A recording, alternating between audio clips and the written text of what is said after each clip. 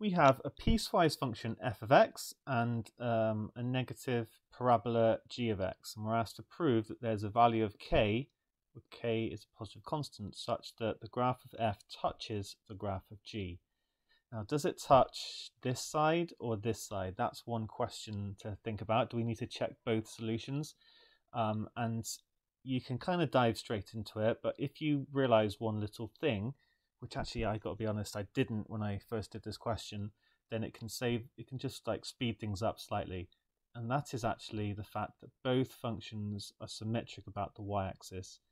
If I sketch g of x, it's a negative parabola. It goes through 2.5 squared here. Now f of x is more difficult to deal with, but um, consider some x greater than 0.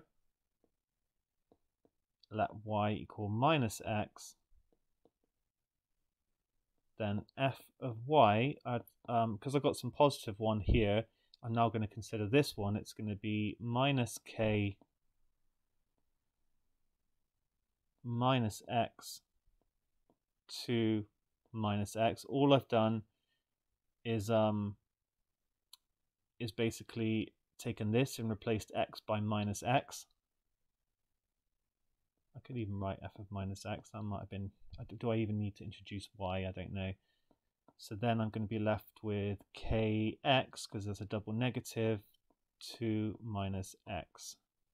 So actually, it equals f of x. That's what we've just shown.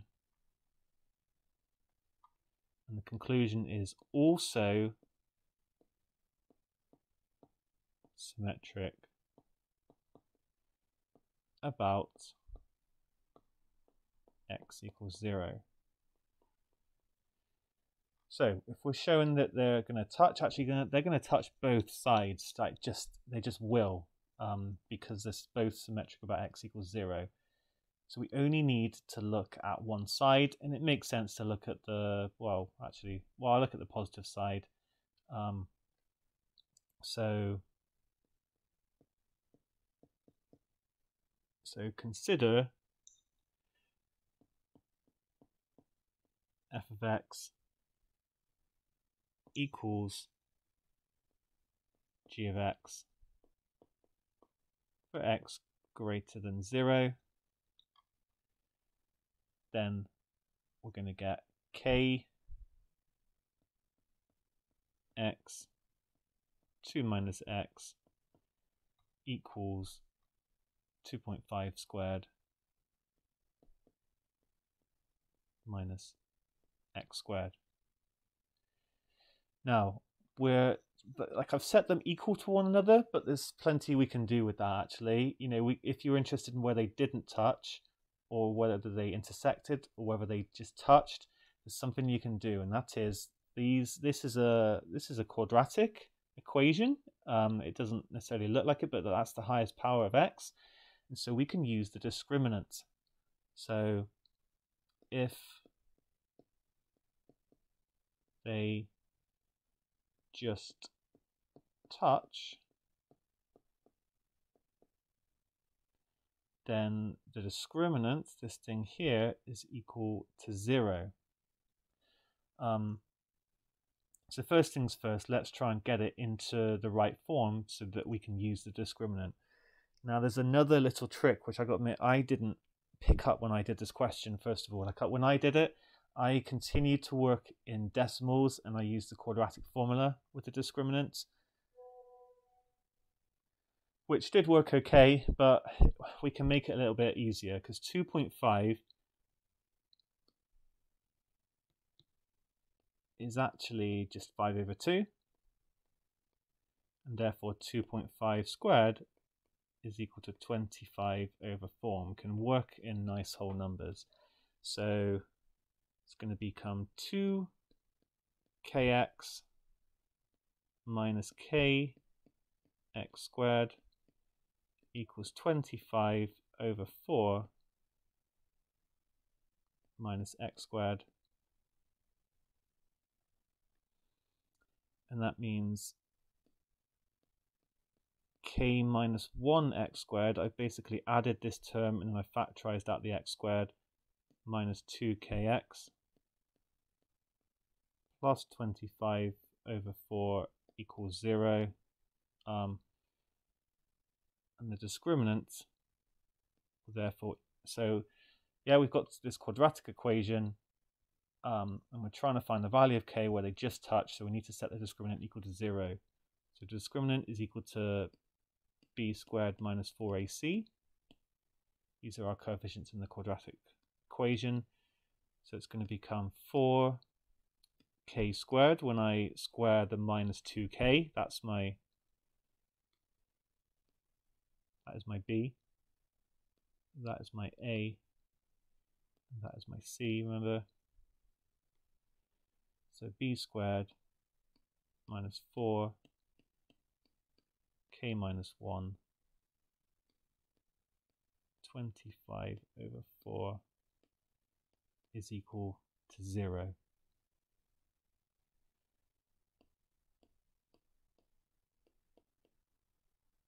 when they just touch. So I've avoided decimals through this method. Like I said, it, it will work out if you don't if you don't spot to do this.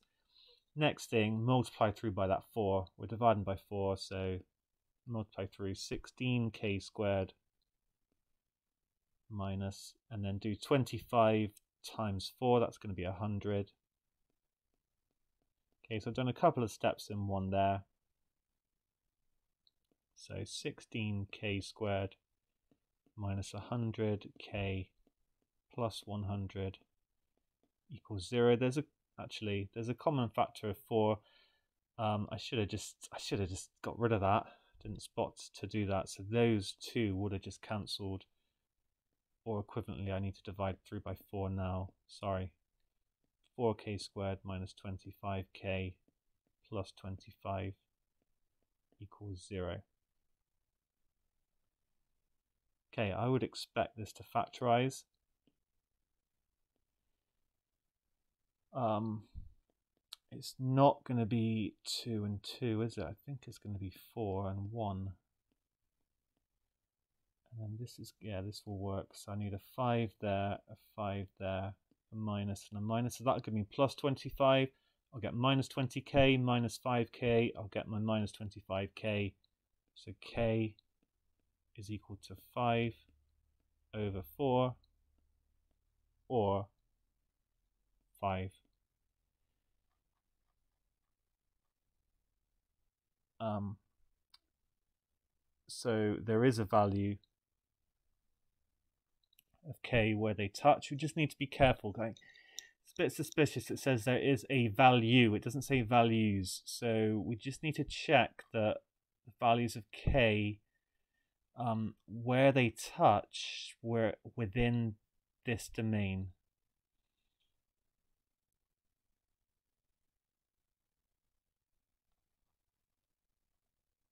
So I'm going to go with 5 to start with. Consider k equals 5.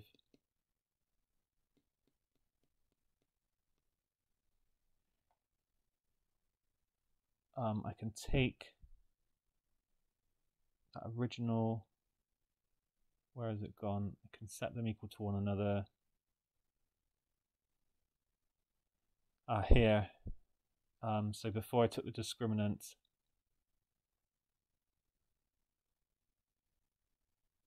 so if I put k, let me just grab this equation.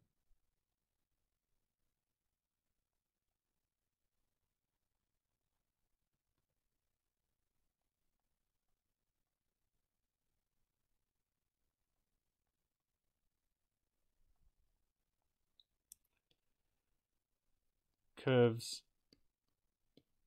touch when for I'm just substituting in k equals 5 4 x squared minus 10 x plus 25 over 4 equals 0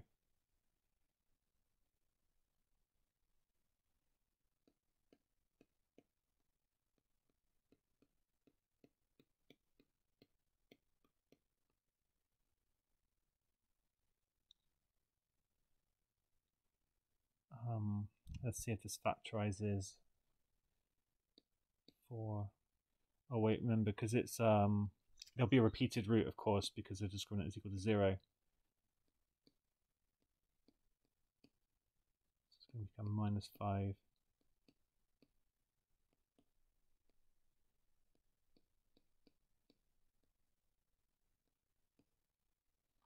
Okay, so x equals 5 over 4. Uh, this is within the range.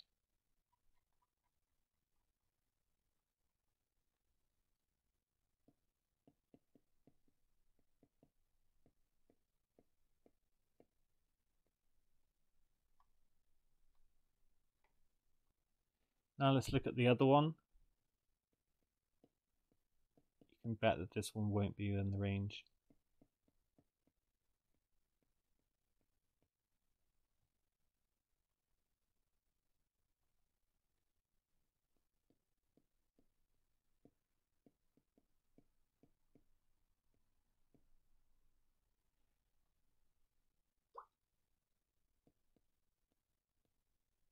So I'm just substituting in 1.25 or like 5 over 4, so I'm going to get a quarter x squared minus, and it's 2 times 5 over 4, so that's going to be 5 over 2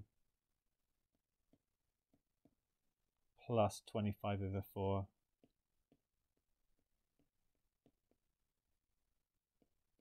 times 3 by 4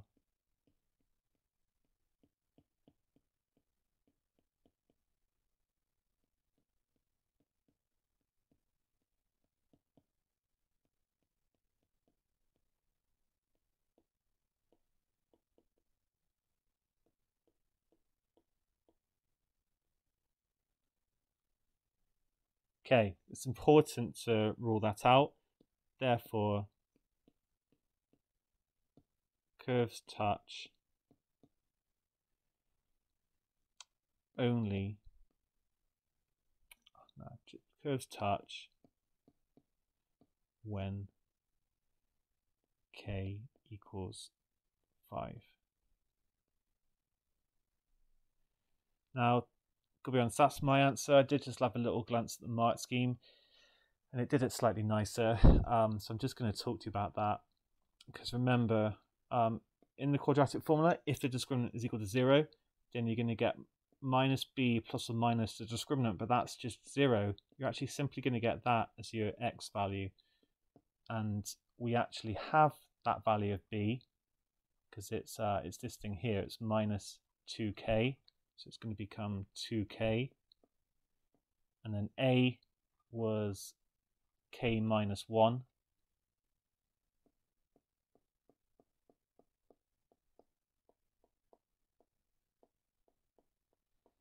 And so you can see this is uh, actually only going to be okay when k is equal to 5. When you substitute in 1.25, it's going to be bigger than it's going to be outside the domain. So could have used this is all I'm trying to say. Would have been a lot quicker. You spotted that, then well done.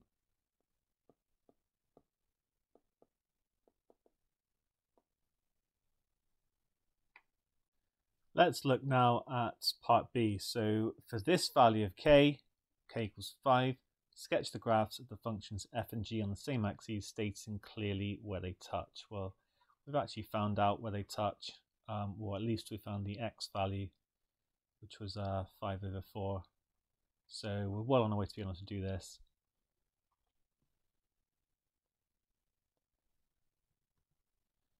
Okay, so that is the function, uh, one of the functions. Just a reminder, so it's going to be minus 5x 2 plus x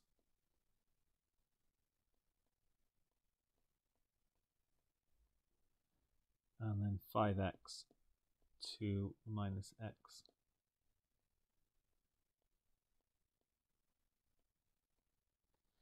Um, probably worth just thinking about what each of these look like in their respective um, you know regions. So here we've got this well, still the top one first. So we would have roots at 0 and minus 2. Um, so we know it's going to go through the axis there, and here we're going, it's going to go through at 0 and 2.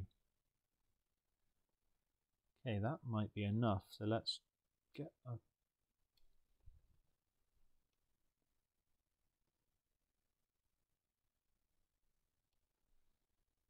I think it's best to draw f of x first.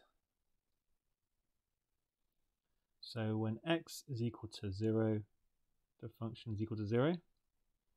We know it's symmetric. If we go in the positive direction, then we know it goes through 2.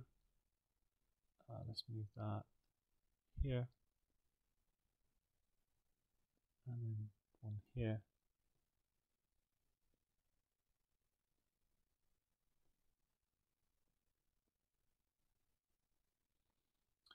Um, so they are both negative parabolas, and therefore it's going to look like that. And that, because it would, I know the roots, look, I know it's a negative parabola, so it's going to look like uh, a bit like this. I know where the roots are, I just don't, I just don't carry it on um, because um, it only exists between 0 and 2 or 0 and minus 2.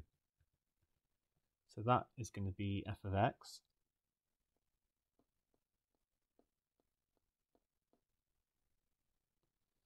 And then I know the other one goes through the axis at 2.5 squared. Um, just need to take a little look at this. So what it was uh, 2.5 squared minus x squared.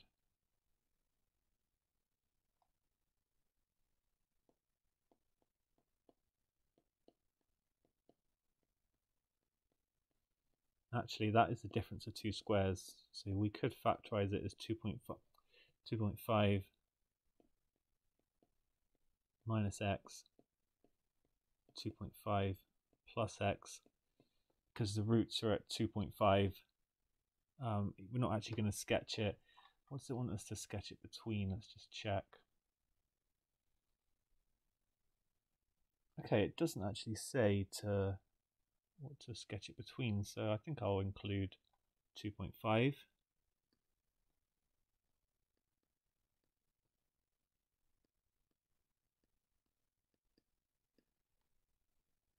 then I know it touches at 1.25 so it's going to be about here and minus 1.25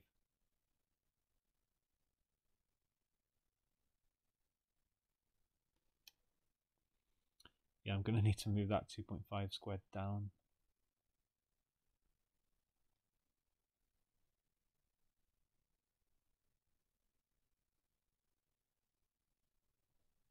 try that again.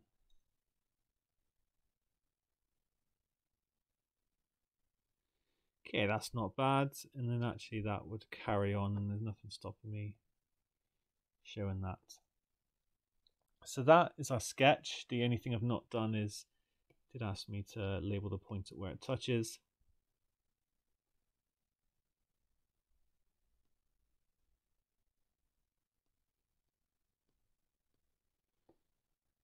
Um, so that's going to be my x coordinate.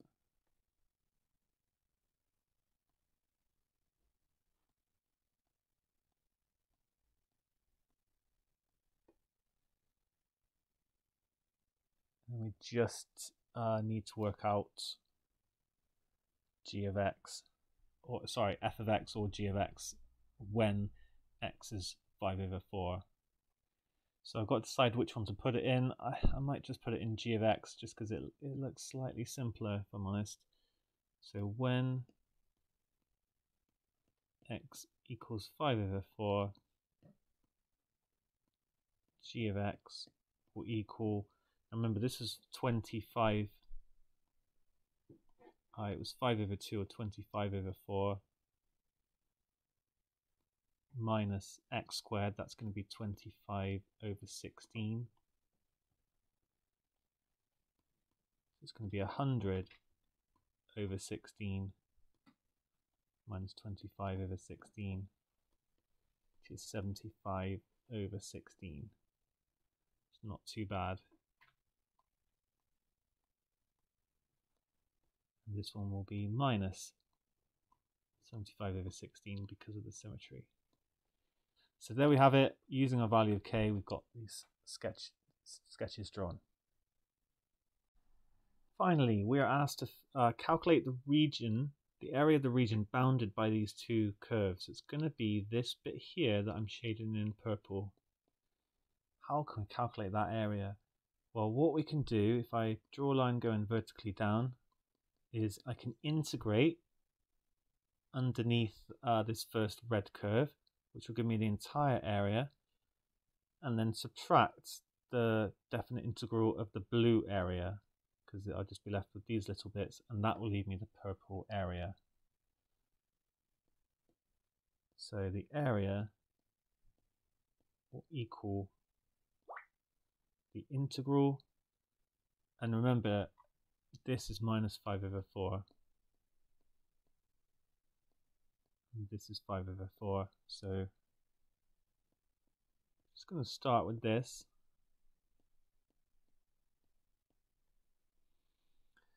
Um, what was it again? It was it was 5 over 2, so 25 over 4. I'm going to keep working in fractions.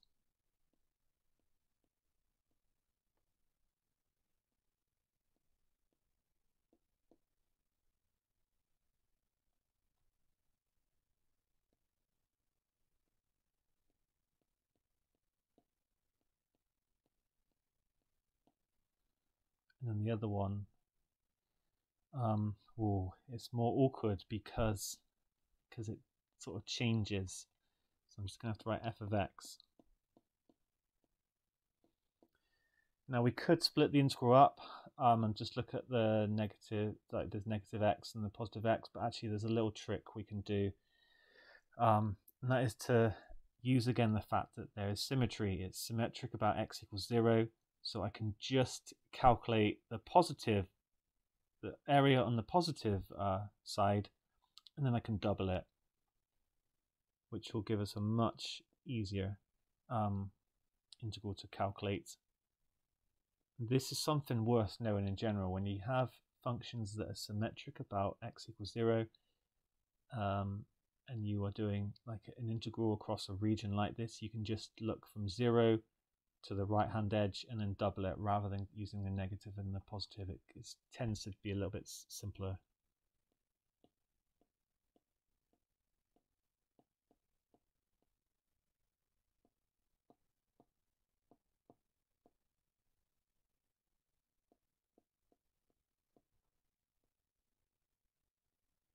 So now I'm just going to look at this uh, is for, no, sorry, the second bit, 5x and 2 minus x.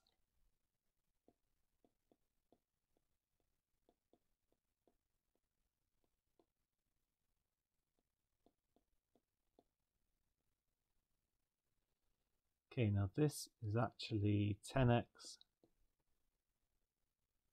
minus 5x squared. Sorry, that should have been doubled as well. And another thing you can do when you're adding and subtracting in, like two integrals like this is actually you can bring it all under one integral. It's like when you integrate, you know, if you integrate x squared plus x cubed, you kind of integrate this one separately and this one separately. So you can either kind of do it under one like big bracket or you could write it like this Okay, I'm not going to prove that, but that is that is allowed. Therefore, we can do the opposite. We can go back from this right hand side to the left hand side. So they're both doubled, so I can just leave the two on the outside.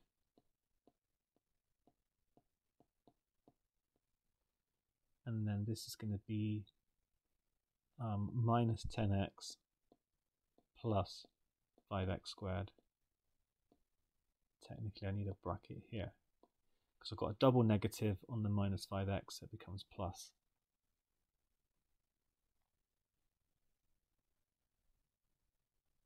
Okay, let's keep going.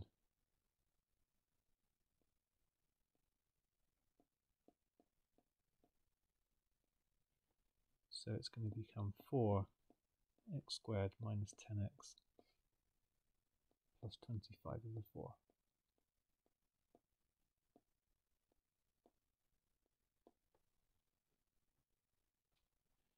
We're ready to integrate it.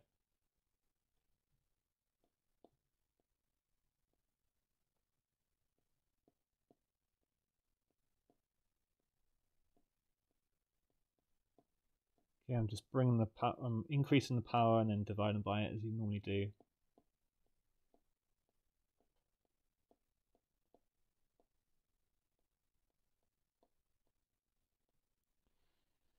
This is great, as you can see, because when you put 0 in, you don't get any terms. So we only have to worry about this 5 over 4.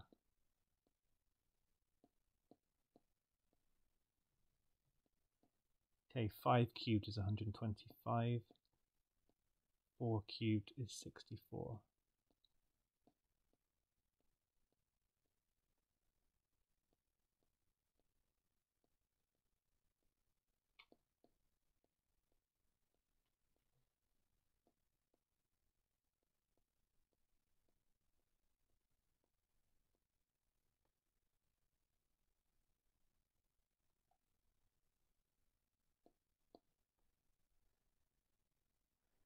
We can um, we can actually cancel this 4 with this 64 and get 16. Um, so there's going to be a, just trying to see, there's no other way, there's a 3 here.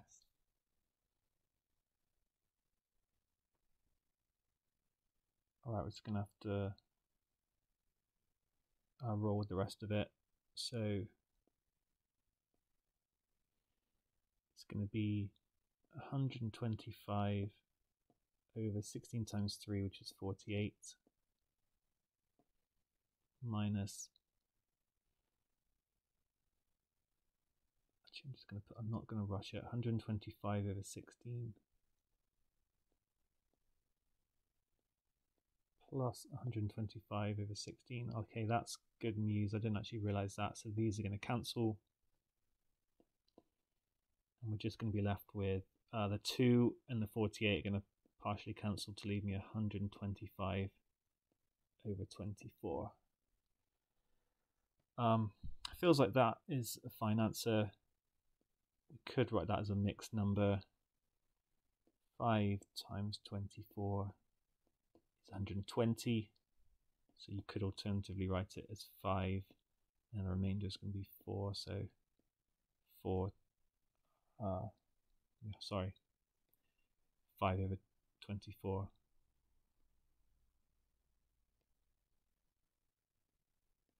Okay, uh, for me, a challenging question because uh, you know you only have to slip up at the first bit, and it's going to be you can't use the value of k for all the other bits. So I hope you're happy about that. Well done.